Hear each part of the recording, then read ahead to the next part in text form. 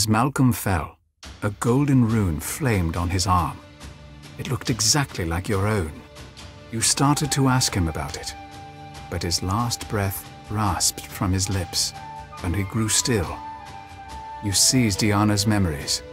They must contain some kind of clue. However, their connection to the rune was as inscrutable as ever. What you did see was another member of the expedition take credit for Lucius's play. The selfless act had exonerated Lucius at the cost of his friend's freedom. Shocked to receive such a gift, even from a friend, Iana grew passionate about saving him. Here, you realized the history books had it wrong. Though the adventurers had wanted to find the birthplace of the world and the source of magic,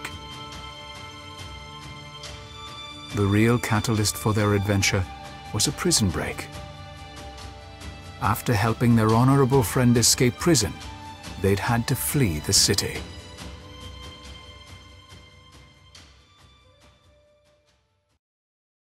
You can craft your own weapons and armor.